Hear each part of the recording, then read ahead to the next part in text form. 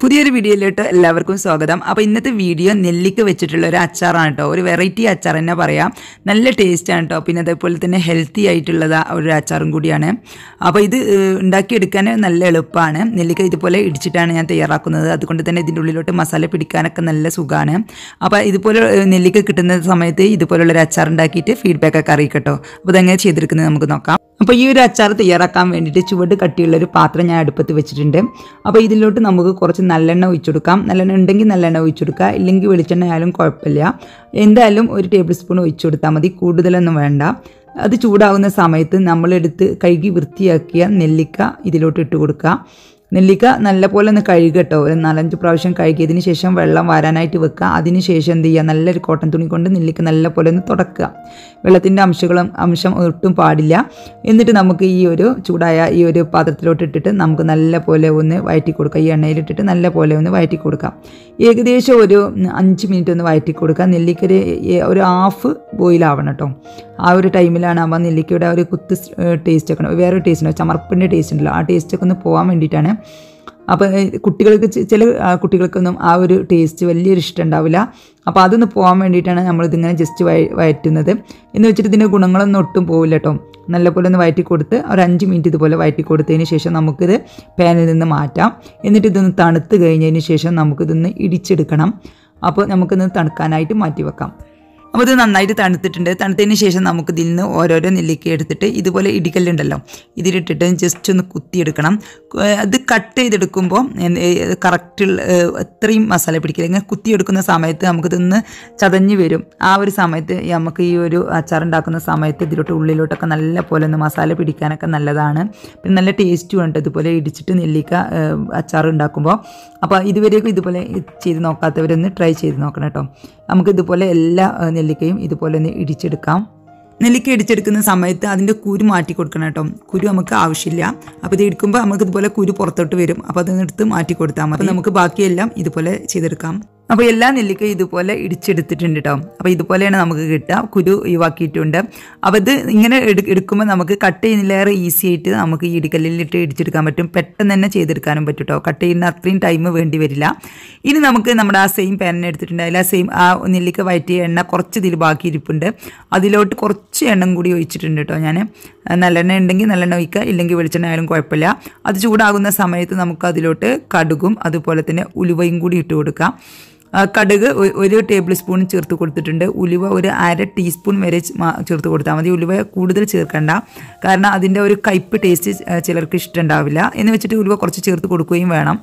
ഇനി നമുക്ക് ഇതിലോട്ട് കുറച്ച് ഇഞ്ചി വെളുത്തുള്ളി പച്ചമുളക് ഇവ ചതച്ചതാണ് ചേർത്ത് കൊടുത്തിട്ടുള്ളത്.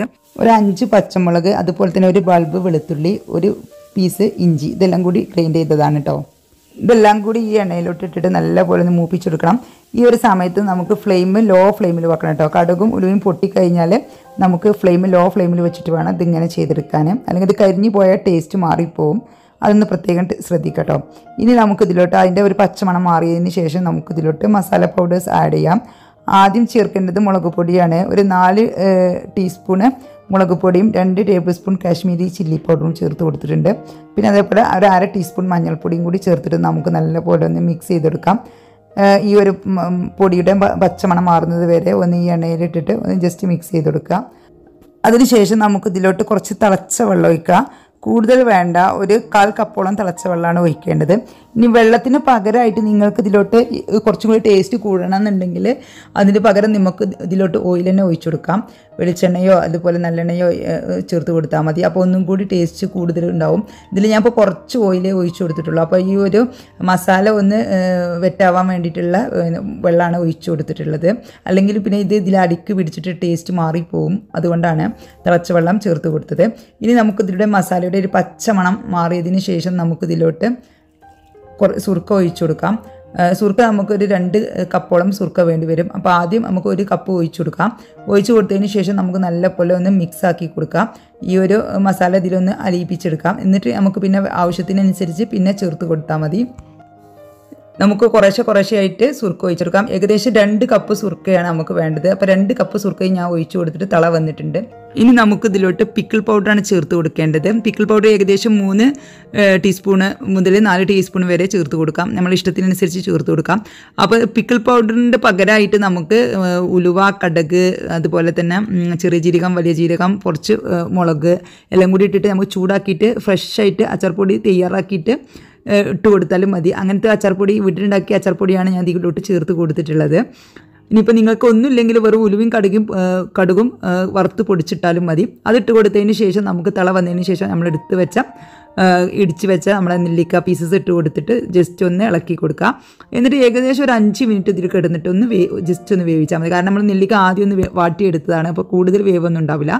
ജസ്റ്റ് ഒരു അഞ്ച് മിനിറ്റ് ഇതിലൊന്ന് ഇളക്കിയെടുക്കുക. അതിനുശേഷം നമുക്ക് ഫ്ലെയിം ഓഫ് ചെയ്യാം. പിന്നെ പാകത്തിന് ഉപ്പ് ആദ്യം നമ്മൾ ചേർത്ത് കൊടുത്തിട്ടുണ്ട് അച്ചാർപ്പൊടി ചേർത്ത സമയത്ത്. ഇനിയിപ്പോൾ ഒന്നും കൂടി ഉപ്പും ടേസ്റ്റൊക്കെ നോക്കിയിട്ട് കുറവുണ്ടെങ്കിൽ ഉപ്പ് നമുക്ക് ഈ ഒരു സമയത്ത് ചേർത്ത് കൊടുക്കാം. എന്നിട്ട് ചൂടാറിയതിന് ശേഷം നമുക്ക് നല്ല ഗ്ലാസ് ജാറിലിട്ടിട്ട് സ്റ്റോർ ചെയ്യാം. ഒരാഴ്ച വരെ പുറത്ത് കേട് കൂടാണ്ടിരിക്കും അത് കൈ അത്രയും കൂടുതൽ സമയം വെക്കുകയാണെങ്കിൽ ഫ്രിഡ്ജിലോട്ട് മാറ്റിയാൽ മതി കേട്ടോ അപ്പോൾ എല്ലാവരും ട്രൈ ചെയ്ത് നോക്കിയിട്ട് ഫീഡ്ബാക്ക് ഒക്കെ അറിയിക്കട്ടോ എല്ലാവർക്കും നന്ദി.